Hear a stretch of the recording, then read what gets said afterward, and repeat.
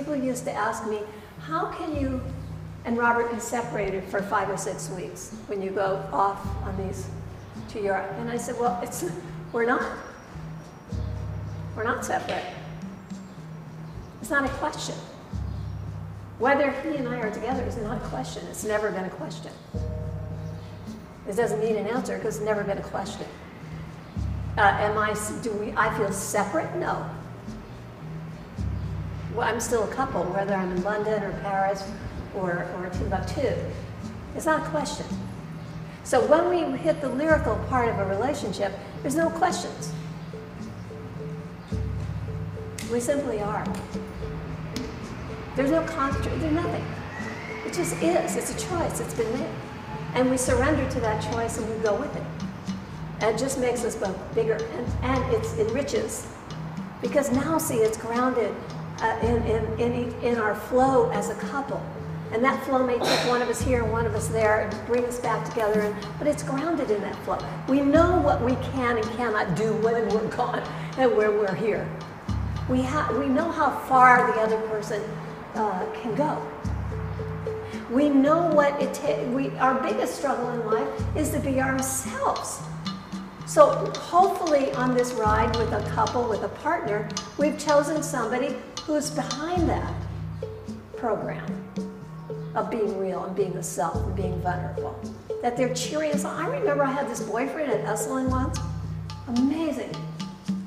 I, I've had so many boyfriends, but I, I used to go over there to Esalen with my like 75 albums because I didn't know what I wanted to play. I was the original DJ, you know. I walk over to Esalen with my, all my albums, you know, and get there and do my workshop and have to pick out what music. And I, I just couldn't, couldn't decide before I left. So I suffered this and I did this. Every time, like I'd have these boyfriends, different ones go, uh, well, when will you back? What, you are teaching another group?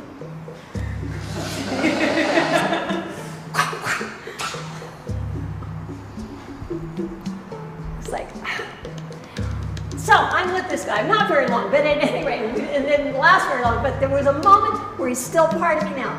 I, I went to go out the door with my records and everything. Go, baby, go! Man, turn those people inside out. Like, make that dance happen, baby. Go, baby, go! And it was like, wait a minute. Where's this been? Instead of being resented for being myself, exploring myself, for having a job, for, you know, many, many things, I was actually being applauded. I was being supported. I had a cheerleader at home. And I never, I felt so great. Those records felt lighter. Walking up that path, I felt like, like I was on a trip. I was tripping on his high, on my, my choice, my, my passion. It's big.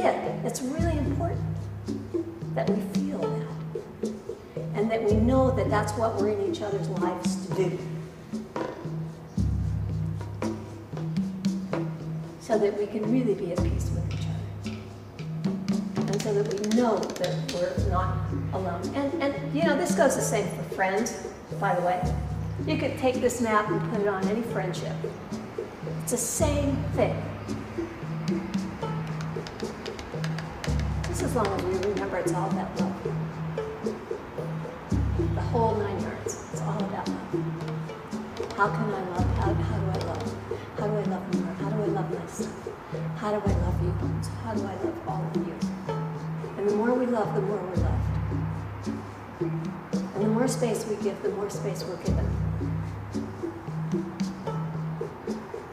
And the more we applaud others, the more they allow us. The more permission I give you to be the more permission you'll give me to be me. Did I say that twice?